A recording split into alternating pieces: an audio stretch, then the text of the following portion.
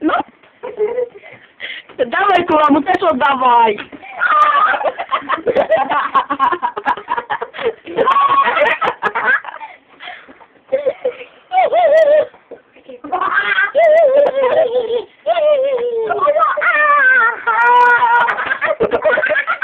Niestety, ja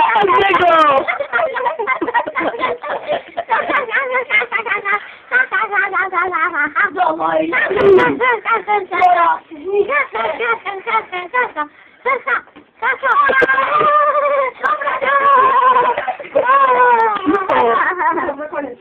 Doyladık.